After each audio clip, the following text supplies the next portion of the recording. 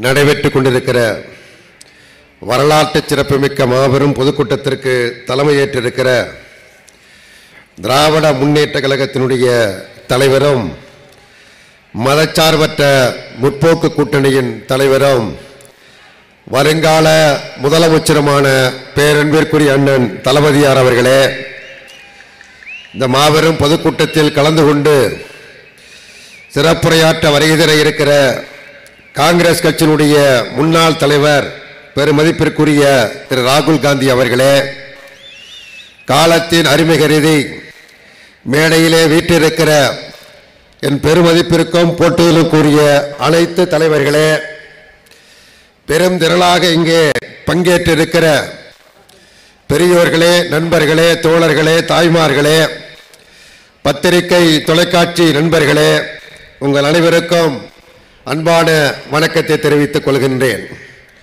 நிகழ்ச்சி தொகுப்பாளர் அண்ணன் வேலு அவர்கள் ஐந்து நிமிடத்தில் உரையை நிறைவு செய்ய வேண்டாம் என்றால் அடுத்தடுத்து தளபதியார் அவர்களும் திரு ராகுல் காந்தி அவர்களும் உரையாற்றிவிட்டு விமானத்திற்கு செல்ல வேண்டிய அவசியம் இருக்கிறது என்று குறிப்பிட்டிருக்கிறார்கள். ஆகவே இந்த மிக குறுகிய நேரத்தில் எனக்கு முன்னர் இங்கே பேசிய மதிப்புமிக்க தலைவர்கள் குறிப்பிட்டதைப் போல பதினாறாம் தேதி ஏப்ரல் ஆறாம் தேதி தேர்தல் நடந்து மே ரெண்டாம் தேதி வாக்குகள் எண்ணப்பட்டு அதற்கு பிறகுதான் நாம் வெற்றி விழா கூட்டத்தை அல்லது நன்றியறிப்பு கூட்டத்தை நடத்த வேண்டும். ஆனால் இங்கே திரண்டிருக்கிற கூட்டம் மே ரெண்டாம் தேதிக்கு பிறகு நடக்க வேண்டிய கூட்டம் இன்றைக்கே நடைபெற்று கொண்டிருக்கிறது என்கிற அளவிற்கு பல்லாயிரக்கணக்கான மக்கள் கலந்து கொண்டிருக்கிறார்கள். நாற்காலிகள் காலியாக இருக்கின்றன. ஆனால் திடலுக்கு வெளியே நுழைவாயிலில் காவல்துறையினர் எல்லோரும் முகக்கவசம் அணிந்து கொள்ள வேண்டும் என்று அங்கே ஒவ்வொருவராக உள்ளே அனுப்புகிற காரணத்தினால் இதை காட்டிலும் இன்னொரு பெருமடங்கு கூட்டம் வெளியில் நின்று கொண்டிருக்கிறது. தயவுசெய்து காவல்துறையினரை அவர்கள் விரைவாக உள்ளே வருவதற்கு ஒத்துழைக்க வேண்டும் என்று கேட்டுக்கொள்வதோடு இங்கே நேரடியாக மேடைக்கு முன்னதாக அமர்ந்து மக்கள் இந்த உரைகளை எல்லாம் கேட்டுக்கொண்டிருப்பதைப் போல இதை காட்டிலும் பல மடங்கு உலகம் முழுவதிலும் இருக்கிற தமிழ் பெருங்குடி மக்கள் தொலைக்காட்சி வாயிலாக குடும்பம் குடும்பமாக தங்களின் இல்லங்களிலிருந்து கேட்டுக்கொண்டு இருக்கிறார்கள் நம்முடைய மதச்சார்பற்ற முற்போக்கு கூட்டணி என்பது மகத்தான வெற்றி பெறும் என்று இதுவரையில் வெளிவந்த அனைத்து கருத்து கணிப்புகளும் செய்திகளை தொடர்ந்து வெளியிட்டுக் கொண்டிருக்கின்றன. நான் கருத்து கணிப்புகளை நம்பி அல்ல. இங்கே மேடையில் வீட்டிருக்கிற மதிப்புமிக்க தலைவர்கள் அத்தனை பேரும். தொடர்ச்சியாக தமிழ்நாட்டில் பல தொகுதிகளுக்கு மாநிலம் முழுவதும் சென்று வருகிறார்கள்.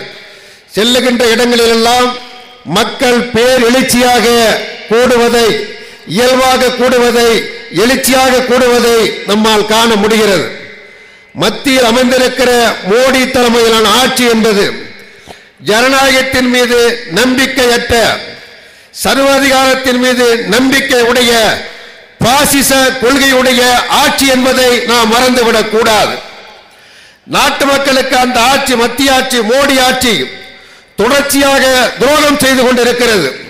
விவசாயிகளுக்கு எதிராக துரோக சட்டங்களை நிறைவேற்றி இருக்கிறது தொழிலாளர்களுக்கு எதிராக துரோக சட்டங்களை நிறைவேற்றி இருக்கிறது மாணவர்களுக்கு எதிராக நீட் நுழைவுத் தேர்வு என்கிற துரோகத்தை செய்திருக்கிறது. இப்படி ஏராளமான துரோகங்களை மோடி சர்க்கார் செய்து கொண்டிருக்கிறது. மோடி சர்க்கார் மேற்கொண்டிருக்கிற துரோகத்திற்கு ஆதரவாக இங்கே இருக்கிற எடப்பாடி சர்க்கார் அந்த துரோக கும்பலுக்கு துணை போய் கொண்டிருக்கிறது. ஆகவே பாஜக அதிமுக கூட்டணி என்பது துரோக கூட்டணி. துரோக கூட்டணி அமைத்துக் கொண்டு கரைபடிந்த கரங்களோடு கரைத்தை குவித்து இங்கே வாக்கு கேட்க வருகிறார்கள். கோட்சே கூட காந்தியை சுடுவதற்கு முன்னால் இரு கரங்களையும் குவித்து காந்தியை கும்பிட்டுக் கொண்டேதான் வந்தான். அந்த கோர கரங்களுக்குள் கொடிய கரங்களுக்குள் துப்பாக்கி இருக்கிறது என்பது யாருக்கும் தெரியாது.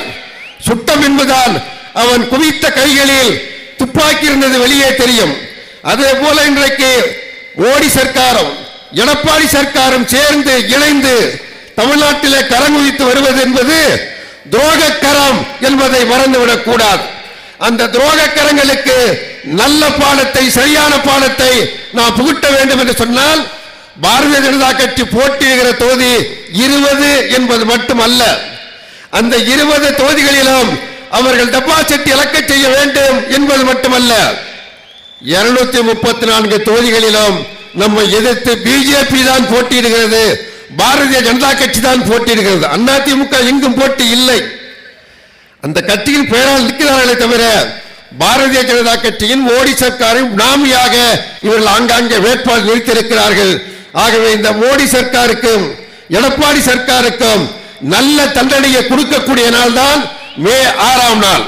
மே ஆறாம் நாள் தமிழ்நாட்டு வாக்காளர் பெருமக்கள் இங்கிருந்து தமிழ்நாட்டு வாக்காளர் பெருமக்களுக்கு நாங்கள் விடுக்கிற அன்பான வேண்டுகோள் பணிவான வேண்டுகோள் தமிழ்நாட்டில் ஆட்சி மாற்றம் ஏற்பட வேண்டும். மோடியுடைய பிராமியாக செயல்படுகிற எடப்பாடி அரசாங்கம் தூக்கி எறியப்பட வேண்டும். இந்த அரசாங்கம் தூக்கி எறியப்பட்டு புதிய ஆட்சி புத்தம் புதிய ஆட்சி மக்களுக்கான ஆட்சி தமிழ்நாட்டில் அமைய வேண்டும். திராவிட முன்னேற்ற கழகம் அதன் கூட்டணி வெற்றி பெற வேண்டும். இந்த அணிக்கு தலைமை தாங்குகிற நமது மதிப்பிற்குரிய சகோதரர் தளபதியார் அவர்கள் முதலமைச்சராக பொறுப்பேற்க நாம் அனைவரும் சேர்ந்து பாடுபட வேண்டும். நான் நிறைவாக கேட்டுக்கொள்வது கலைஞர் அவர்கள் மிக எளிய உதாரணத்தை நமக்கு கற்றுத் தந்திருக்கிறார். நான் என்றால் உதடுகள் ஒட்டாது. நான் என்றால் உதடுகள் ஒட்டாது.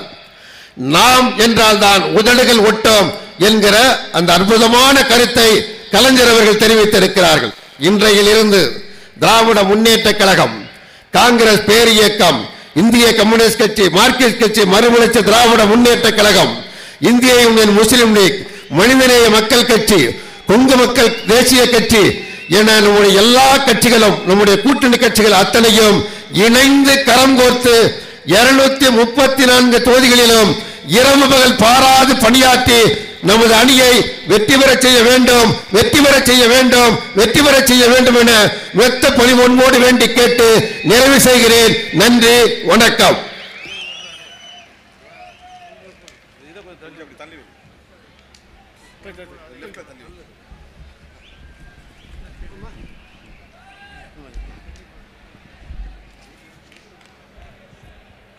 மார்க்சிஸ்ட் கம்யூனிஸ்ட் கட்சியினுடைய தமிழ்நாடு செயலாளர் தோழர் அண்ணன் பாலகிருஷ்ணன் அவர்கள் உரை